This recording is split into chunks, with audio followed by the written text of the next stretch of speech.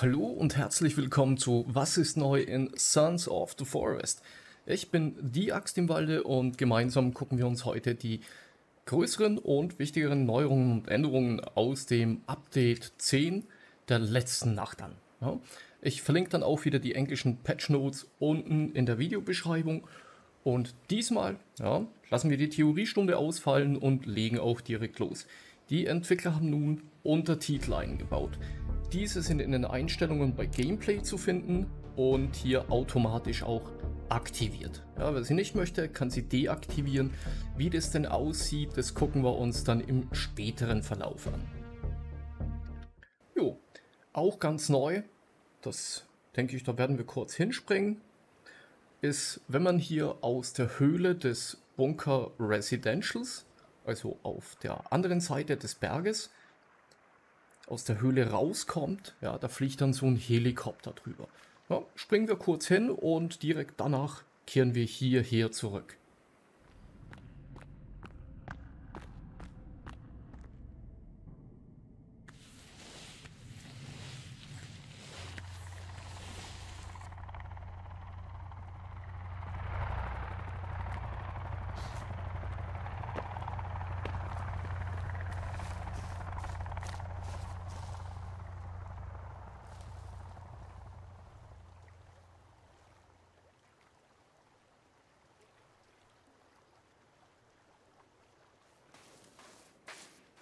Ja, der Helikopter ist auf jeden Fall drüber geflogen, über das Wasser, also den See und über den Berg drüber, wo er hin wollte, weiß ich nicht. Vielleicht bekommen wir den ja, irgendwo in einem späteren Update mal auf dieser Seite, wo er eben rüberfliegt, dann zu sehen. Ja. Legen wir aber gleich weiter los. Nämlich im GPS haben die Entwickler jetzt auch die Nordmarkierung eingebaut. Ja, sehr hilfreich. Und die Zeitbombe ja, ist nun keine Zeitbombe mehr, sondern eine Haftbombe. Der kundige Sons of the Forest Spieler wird das sofort erkennen. Huch, ja, die sieht ja anders aus. Gucken wir uns im Detail an, die sieht tatsächlich anders aus. Ja, die Entwickler haben hier zwei Änderungen vorgenommen, nämlich auf der einen Seite eben die grafische Änderung und auf der anderen Seite, dass nun die Haftbombe aus The Forest wieder zurückkehrt. Ja, weggeworfen, Papp ist schon dran, und funktioniert tadellos die neue Haftbombe. Jo, dann haben die Entwickler gesagt, einige Gegnertypen, die sollen jetzt auch manchmal mit Fackeln kommen.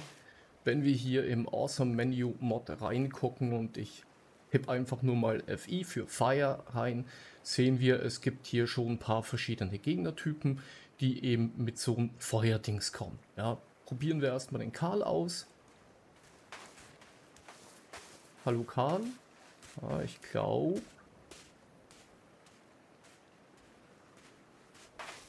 Ja, er zieht mich. Fackel ist das keine. Ne? Probieren wir mal so einen Billy aus. Der hat ja auch etwas, das vielleicht eine Fackel sein könnte, aber praktisch nicht ist. So, Ruhe im Gepäck. Aber dem noch nicht genug. Hi Kevin. Es gibt auch einen neuen Gegnertypen, nämlich von den Kannibalen gibt es hier den Frank. Ja, wir haben ihn vorhin auch gesehen. Den gibt es auch im Firepack. Und was beim Frank besonders ist, ich dachte hier beim Lesen der Patch Notes, die Entwickler wollen mich hier irgendwie veräppeln oder einen Scherz machen oder irgendwas. Äh, tatsächlich finde ich, passt das in das Spiel ganz gut rein. Ja, der Frank ist nämlich so einer. Guckt mal.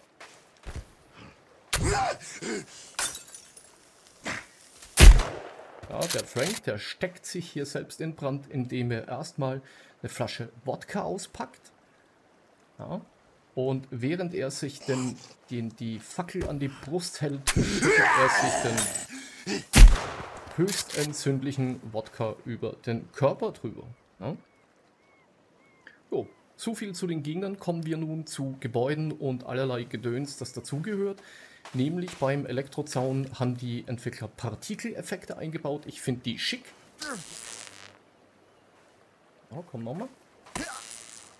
Ja, finde ich, sieht echt gut aus. Gut. Es gibt auch eine neue Deko. Oder ein Deko-Objekt. findet man direkt bei, wo auch immer die Deko drin ist. Hier kommt sie. Ja, nämlich den Hirschfellteppich. Braucht man ein, so ein, äh, eine Hirschhaut. Ja, und dann hätte ich mal gesagt, pappen wir die hier direkt auf den Boden drauf.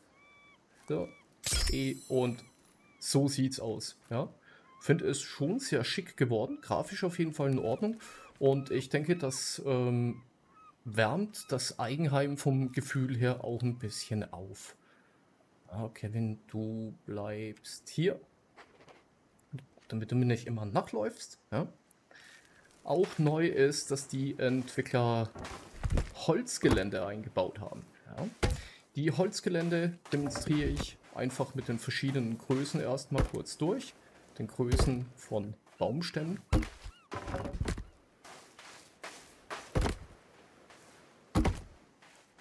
Wobei eigentlich ja, ist ja Wurst. Ne? Es geht auf jeden Fall mit allen Längen von Baumstämmen und ein Holzgeländer wird zugebaut, dass man eben horizontal, äh, vertikal nach oben erstmal die Pfosten hinbaut und dann mit einer Planke, ja, kann man hier Holzgeländer dann dran und drauf äh, verlegen. Oh, das ist aber auch neu. Das wusste ich nicht, dass das so schräg geht. Es ist auf jeden Fall möglich. Da nehmen wir hier einen großen zur Demonstration ganz.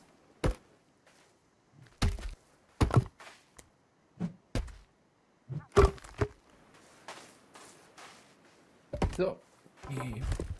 So. Ja, auf jeden Fall, das sind nun die Geländer und man kann die dann auch verbinden.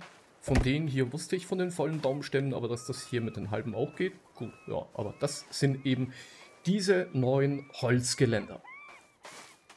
Wir wandern dann auch mal erst hier drüben hin, wo wir ein bisschen mehr Fläche haben, denn es gibt ja auch eine, ja, Gebäude ist es nicht, aber man kann es bauen. Ja. Nämlich bei der Lagerung gibt es das große Stammlager, baut sich hier schick durch mit äh, 40 Stockstücken. Ja.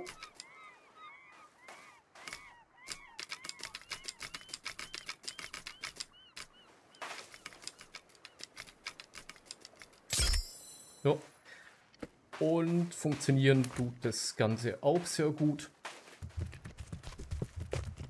Ist wirklich ein großes Stammlager. Finde ich gut. Ja? Wir bleiben auch noch ein bisschen bei den Gebäuden.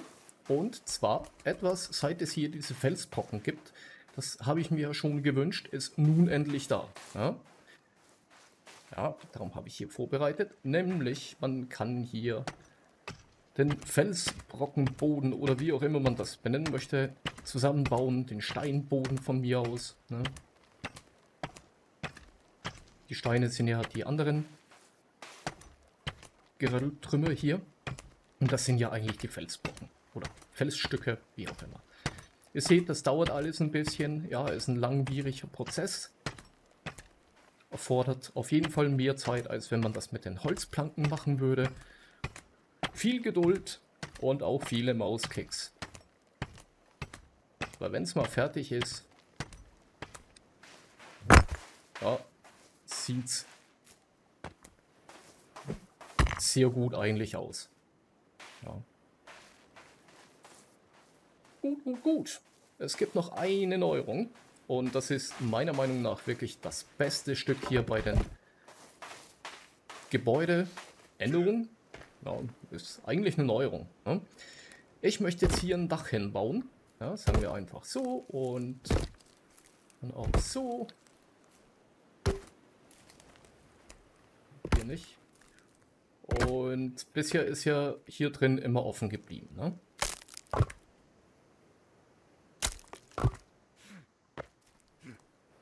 baue das jetzt nur ein bisschen an. Ja. Auf jeden Fall hatte man hier immer so ein Stück und die Entwickler haben das jetzt hier ein bisschen angepasst. Ja, man hat es hier gerade eben gesehen. Wenn man diesen Schrägen hier runter und diesen Schrägen hier runter baut, gibt es die Möglichkeit, direkt hier in der Ecke noch einen dran zu setzen. Und auch direkt dann erscheint die Möglichkeit hier, das zu versiegeln, sage ich mal. Ja, Stufen, ich drücke gerade ein paar Mal die rechte Maustaste. Stufen sind nicht möglich, muss wirklich hier so ein versiegeltes Schrägdachding sein. So.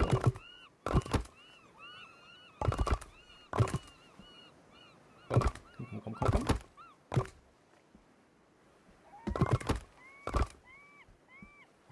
Und wenn es fertig ist, sieht es dann so aus. Ja, und jetzt sagt bitte nicht, das sieht irgendwie nicht super schön aus. Ja, ich finde, das ist optisch, ja, bauoptisch gesehen, ist das wirklich etwas, worauf wir alle schon dann gewartet haben. Nun können die Hütten auch ordentlich aussehen. Bin gespannt, ob da irgendwas mit Steinen auch kommt. Wäre gut, ja, aber ist schon mal sehr guter Anfang. Jo, wir haben eigentlich noch zwei Änderungen offen. Änderungen, Neuerungen, wie auch immer. Zweieinhalb, wenn man die Untertitel noch mitzählt, die wir dann in Aktion betrachten werden. Jo, aber wir latschen erstmal dorthin, wo die nächste Neuerung stattfinden wird. Ne? Bis gleich. So, wir sind jetzt hier beim Höhleneingang zum äh, Bunker Entertainment. Ja, da gehen wir rein und gucken uns gleich die nächste Neuerung an. Bis gleich. So, meine Lieben, hier im Bunker Entertainment drin sind wir hier eigentlich im letzten, hintersten Stück angekommen und die Neuerung verbirgt sich tatsächlich hier hinten drin beim Kino. Ja, ich latsche auch ganz kurz hin und werde dann wieder zu Beginn dieses Films, sage ich mal, hinschneiden. Ja? Bis gleich, meine Lieben. Welcome to Hollow Springs, a safe underground community for a select few. Built by visionary billionaire Edward Puffton, Hollow Springs offers unparalleled comfort and luxury. The island is rich in a special material known as solophyte. This material contains unique anti-aging properties. Ancient texts describe a cube constructed from this material. According to these texts, the cube activates at specific, previously unknown intervals. Recently, our researchers have deciphered its activation cycle and anticipate the activation will amplify the youth-giving properties of the solophyte. Reset your body and yourself. Time is running out. Book your place now. Hollis Springs, timeless luxury, timeless youth.